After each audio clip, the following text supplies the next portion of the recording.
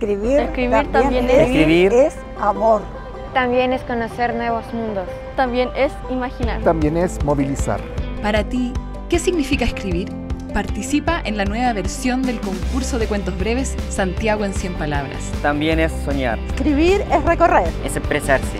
Envía hasta 5 cuentos en www.santiagoencienpalabras.cl. Presentan Escondida BHP y Fundación Plagio, proyecto acogido a Ley de Donaciones Culturales.